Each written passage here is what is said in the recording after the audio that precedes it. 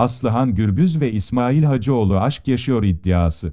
Son zamanlarda Mahkum dizisinde canlandırdığı savaş ve barış karakteri ile büyük beğeni toplayan İsmail Hacıoğlu'nun meslektaşı Aslıhan Gürbüz'le aşk yaşadığı iddia edildi.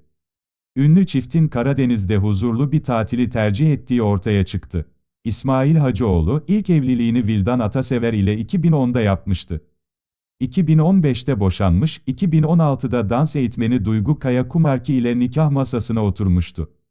Yemin adında bir kızı olan çift, Temmuz 2020'de ihanet iddiasıyla evliliklerine nokta koymuştu.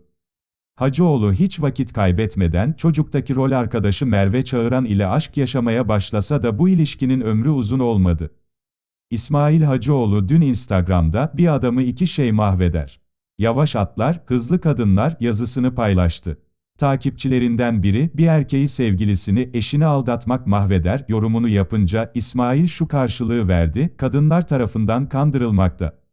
Meslektaşı İsmail Hacıoğlu'yla aşk yaşayan 28 yaşındaki Çağıran, daha önce evlilik sorularına, düşünmüyoruz cevabını vermişti. Birsen Altundaş'ın iddiasına göre, geçen sezon Masumlar Apartmanı dizisinde kamera karşısına geçen Gürbüz ile mahkumdaki performansıyla hayranlık uyandıran Hacıoğlu hafta sonu Karadeniz tatilleri sırasında beraber görüldü. Doğa aşığı olan iki sevgili birçok meslektaşı güney sahillerine inerken Karadeniz'in güzelliklerini keşfetmeyi tercih etti ve huzurlu bir tatilin tadını çıkardı. Hacıoğlu, Gürbüz'le çıktığı tatillerinden akarsu ve orman görüntüleri paylaşmayı da ihmal etmedi.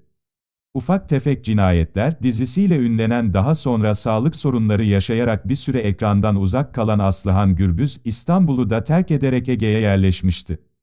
Öte yandan güzel oyuncu, iki tanesi bel fıtığı olmak üzere dört kez ameliyat geçirmişti. Tüm bunların üzerine saatlerce süren dizi çekimleri Gürbüz'ü hem ruhen hem de bedenen bitirmişti.